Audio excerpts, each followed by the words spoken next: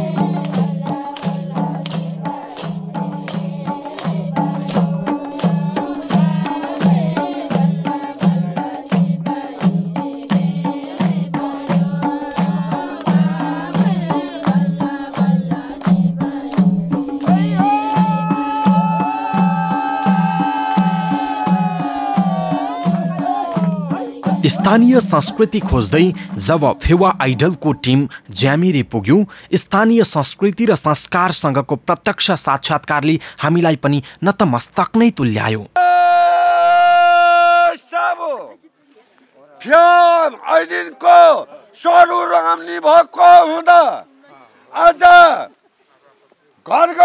कति नछुटे किन हजुर सबै जम्मा भइदिनु हुन आइदिनु होला।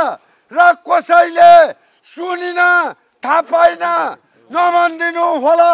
जनताका प्रतिनिधिले पनि फेरि वचन दिने मौका पाए र व्यक्त गरे स्थानीय विकासका आधार र मौलिक संस्कृति संरक्षणका खातिर योजना र योगदानका प्रतिबद्धताहरू। आफ्नो संस्कृतिलाई अब एकदमै प्रमोट गर्नुहोस्। यसको निम्ति पुतली बजार नगरपालिकाले तपाईँहरूलाई के के होइन साथ र सहयोग दिनपर्छ हामी दिन तयार छौँ र यसलाई पर्यटनसँग जोडौँ भनेर हामीले भनेका छौँ। र अब एकदमै अब आजैको कुरा लिउँ होइन। यहाँ हाम्रो जुन खालको गुरुङ समुदायको बसोबास छ फेवा आइडलमा पनि उहाँहरू एउटा होइन? उहाँहरू अहिले फाइनल नाचमा पुग्नु भएको छ।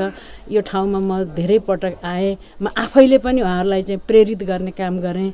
हाम्रो वडा अध्यक्ष सदस्यज्यूहरू पनि त्यसरी नै लाग्नु भएको छ। र यहाँहरू हाम्रै एउटा प्रेरणाले गर्दाखेरि उहाँहरू एकदमै अगाडि बढ्नु भएको छ। र हामी सबै ओडामा सबै ओडामा संस्कृति र पर्यटनलाई पनि जोडेर कृषि र पर्यटनलाई पनि जोडेर पुतली बजार नगरपालिकाको हामी विकासमा अगाडि बढेको स्थिति छ।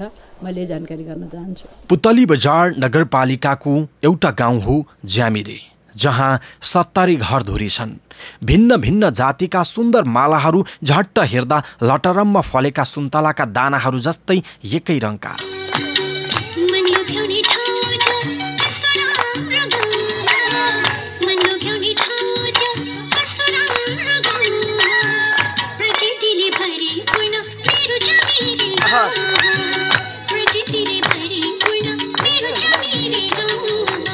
संस्कृति संरक्षणको अभियानमा एक हो ज्यामिरे पनि। यसका खातिर गाउँलेहरूको प्रतिबद्धता र लगनशीलताले उर्वर ज्यामिरेलाई सफलताको सतत शुभकामना।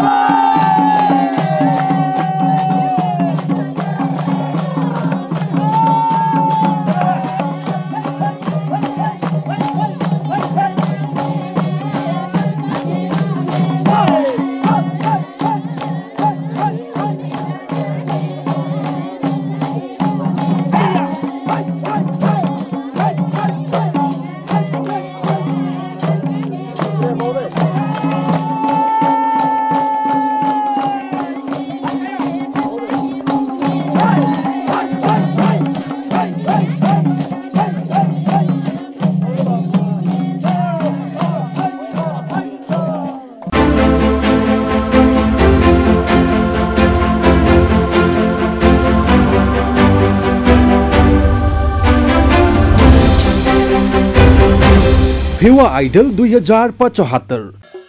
गुरुङ समुदायको बाहुल्यता रहेको सल्यान खनडाँडा गुरुङ संस्कृति र संस्कारको परम्परागत थलोका रूपमा परिचित छ। यही हो सामुदायिक एकताले सिकाएको एउटा पाठ। संस्कृति संरक्षण अभियानको जीवित उदाहरण। खनडाँडाको एक पाखामा निर्माण गरिएको परम्परागत नमुना रोधी घर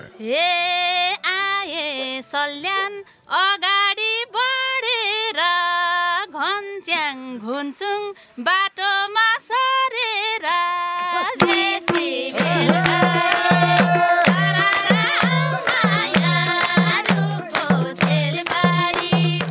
खरको छानामा मुलाका चानाहरू सुकाइएको छ वरिपरिको बार सानो ढोकाको भित्रीपट्टि अगेनामा झ्वाइखट्टे पोलिरहेका आमाहरू तखताभरि पुराना पुस्ताले प्रयोगमा ल्याएका सामग्री घरको एक छेउमा जाँतो र ढिकी अलिक पर राखिएको हलु जुवा र जोताराहरू। वरिपरि बसेर रोदी गाउन मिल्ने पिँढी पिँढी छेउमा बढीमानको रोचे र आँगनमा नाचिरहेका नाचरीहरू।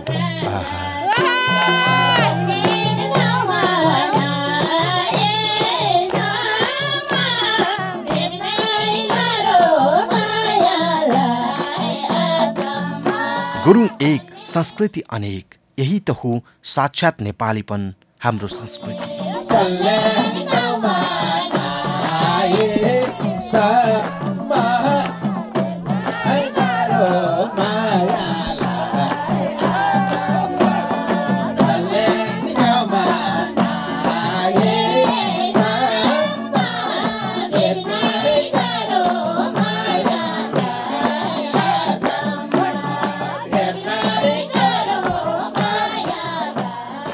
गाउँ गाउँमा यसरी नै खोजिरहेछ फेवा र बुझिरहेछ स्थानीय कला र संस्कृतिको पछिल्लो अवस्था।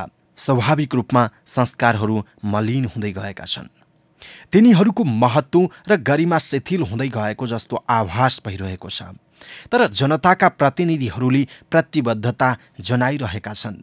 स्थानीयहरूले सङ्कल्प गरिरहेका छन् हामी जोगाउँछौँ हाम्रो मौलिकता र हाम्रो माटोको सुगन्ध। आम आमा समूह। तमु समाज। तमु समाजलाई पनि धन्यवाद साथै अग्रिम बधाई र शुभकामना पनि म दिन चाहन्छु। हाम्रो गाउँपालिकाबाटै एउटा टिम हिजो दुई सय कति टिम थियो त्योबाट यो टिम पनि फाइनलमा पुग्न सफल भएको छ त्यसमा म शुभकामना दिन चाहन्छु। हामीले यो आफ्नो संस्कृतिलाई जोगाउनको लागि यो टिमले धेरै प्रयास गरेको छ र यो फेवा टेलिभिजनले पनि एउटा मौका दिइरहेको छ। हामी गाउँपालिका स्तरमा पनि यो कार्यक्रमहरू हिजोको चाडबाडदेखि नै यो कार्यक्रमहरू राखेर हाम्रो संस्कृतिलाई जोगाइराख्नु पर्छ भनिरहँदा पनि हामीलाई समयको अभावले कहिले प्राविधिक कारणले गर्दा हामीले गाउँपालिका स्तरमा यी संस्कृति झल्काउने र जोगाउने कार्यक्रमहरू हामी प्राविधिक कारण र समयको अभावले राख्न नसके पनि आज यो प्रदेश स्तरकै प्रदेशमा रहेका सम्पूर्ण पालिका स्तरका स्थानीय तहहरूलाई यो फेवा टेलिभिजनले मौका दिइरहेको अवस्थामा यो हाम्रो गाउँपालिका स्तरको यो कुनामा रहेको अहिलेसम्म चिनिन नसकेको गाउँ अलिकति हाम्रो यो दुर्गम ठाउँमा पनि छ। गाउँपालिकाको वार्ड नम्बर तिनमा रहेको यो गुरुङ बस्तीमा रहेको यो गाउँ अलिकति छेउमा पनि छ। हाम्रो गाउँपालिकाको छेउमा रहेको यो गाउँ पनि हो र यो संसारमा चिनाउनको लागि यो गोरेटो एउटा पुलको काम चाहिँ यो फेवा टेलिभिजनले गरेको छ। म सर्वप्रथम हाम्रो गाउँपालिकाको यो टिमलाई भन्दा पनि म फेवा टेलिभिजनलाई मुरी धन्यवाद दिन पनि चाहन्छु। हाम्रो यहाँको वार्ड अध्यक्ष नै हुनुहुन्छ त्यो क्षेत्रमा र यो पर्यटन क्षेत्रको लागि हामीले गाउँपालिकामा अहिले पनि पन्ध्र लाख रुपियाँ छुट्याएका छौँ। पर्यटन बोर्डबाट पनि हाम्रा यो गाउँपालिकामा धेरै थोरै यो थाप्लेको लेख भन्नेलाई पर्यटन बोर्डले पनि अहिले दस लाख रुपियाँ छुट्याइसकेको छ। र पर्यटनमा हामीले धेरै नै जोड गरेका छौँ। अहिले नै यो हाम्रो रिङ रोड पुग्नुपर्छ भनेर यो तिन नम्बर वार्डबाट यो उसमा दुई नम्बर वार्ड जोड्ने बाटोलाई दस लाख रुपियाँ छुट्याइसकेका छौँ। यो गाउँ भनेको के हो भने यो टाउन घरेडी खान्डारा र सल्यान भनेको फेरि यो खेतीयोग्य जमिन पनि होइन। यो ठाउँ फेरि अलिकति पिछडिएको ठाउँ पनि हो। र यसलाई हामीले पर्यटन क्षेत्र नै बनाउनुपर्छ यसलाई पर्यटकहरू भित्राउनुपर्छ। यो ठाउँमा खेतीयोग्य जमिन होइन यो भनेर अहिले हामीलाई तिन नम्बरका वार्ड अध्यक्षले भनिरहँदा हामीले यहाँ एउटा मन्दिर पनि छ पर्यटन क्षेत्र बनाउने खालको मन्दिर छ। त्यसमा पनि अहिले खानेपानीको अभाव भनेर खानेपानीलाई पनि हामीले लगभग वार्ड र गाउँपालिका गरेर लगभग आठ लाख रुपियाँ जति छुट्याएका छौँ यो वर्ष नै हामीले त्यहाँ जाने पर्यटकहरूलाई पानी खुवाउने व्यवस्था पनि गर्नेछौँ। जस अर्कोचोटि फेवा टेलिभिजन र फेवा टेलिभिजन मात्र नभइकन यस्तै अ, अभियान बोक्ने अभियानकर्ताहरू या सल्यान खनि डाँडाकै व्यक्तिहरू ती व्यक्तिहरूले चाहिँ तपाईँकै कार्यकालमा पर्यटन प्रवर्धन सम्बन्धी केही न केही कार्यक्रमहरू पाउँछन् त्यो आशा गर्दा यो हुन्छ पाँच वर्षभित्र हामीले पर्यटन क्षेत्रलाई अगाडि अ, बढाउनेछौँ। जनताले सोचेकोमा पचहत्तर पर्सेन्ट काम हामीले गर्नेछौँ। सेमी फाइनलदेखि फाइनलमा पुग्दाखेरि एकदमै खुसी लागेको छ उहाँलाई धेरै धेरै बधाई दिन पनि चाहन्छु र उहाँलाई मैले सहयोग गर्नेमा उहाँहरूको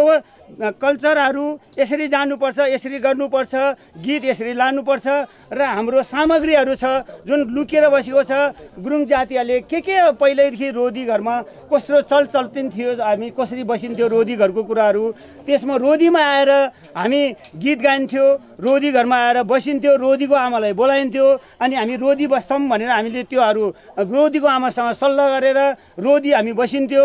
यो भवन बन्दैछ सर। यो भवनको माथि हामीले रोदी घरको टाइपको गोलो घर बनाएर बनाउनेवाला छ। यो तपाईँहरूको सामु छ। थ्याङ्क यू प्राचीन सभ्यता र अथाह संस्कृतिले भरिएका यी र यस्ता कैन पवित्र भूमिहरू हाम्रो पहिचान खोजिरहेका छन्। पाश्चात्य संस्कृतिको प्रभावले छिद्र छिद्र पर्ने जोखिममा रहेको नेपालीपन जोगाइरहनु राज्यको प्रमुख दायित्व हो। राज्यलाई संस्कृति संरक्षणका लागि सदैव घचघच्याउने सामर्थ्य खनडाँडालाई मिलिराखोस्। रोदीघरको छानो नौजाडियोस् र कहिल्यै शून्य नहोस्। शुभकामना छ। हुन्न नेताले मन्तव्य बनाउनुहोस् के? सबैको गन्तव्य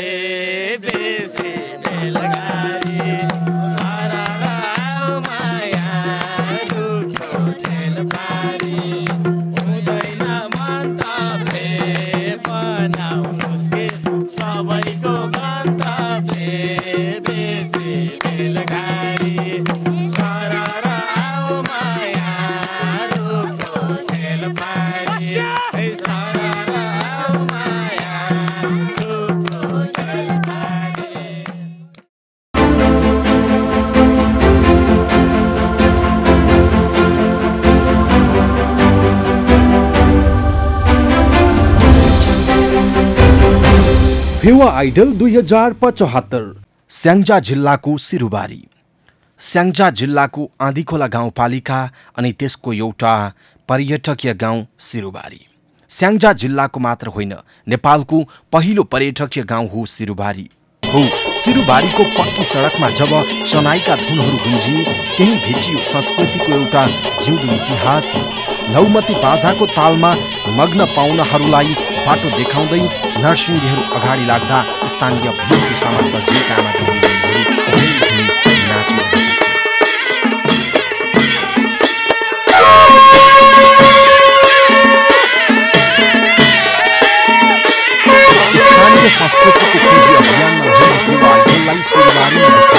सिरुबारीको शाश्वत अतिथि सत्कार। एक थान कोदोको रोटी एक छेउमा भट्टसँग साँधेको गुन्द्रुक र उमालेको आधा अन्डामाथि अलिकति भाङको अचार।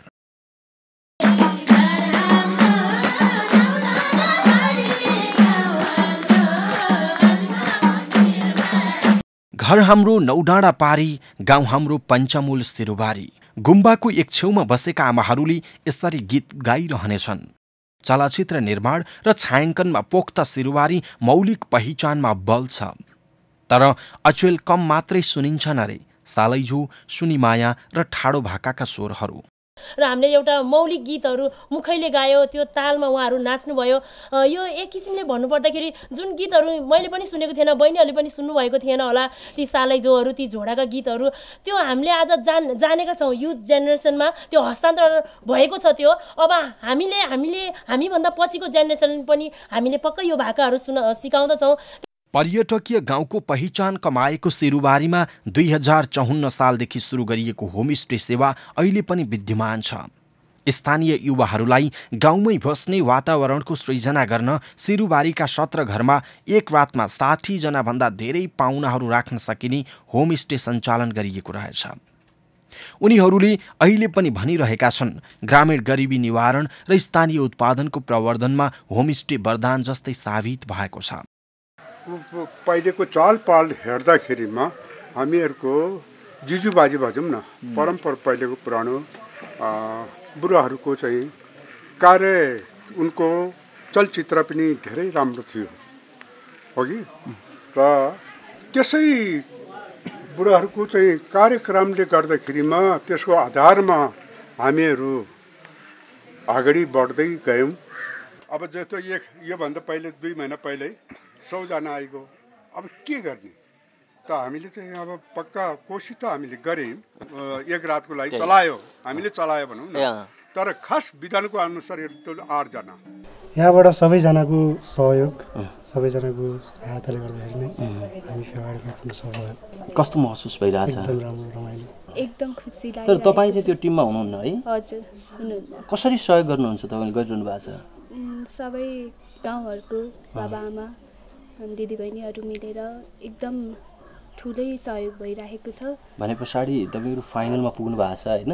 त्यो उपाधि जित्छौँ भन्ने विश्वास लागेको छ तपाईँलाई? हजुर लागेको छ। सिरुबारीको सुगन्ध पाइने अचेल ओझेलमा परेको भनिएको चलचित्र निर्माण र छायाङ्कनमा पोख्त सिरुबारीको मौलिक पहिचान जोडिएको सालैजो सुनि माया र ठाडो भाकाका स्वरहरू फेरि उठ्न सकुन्।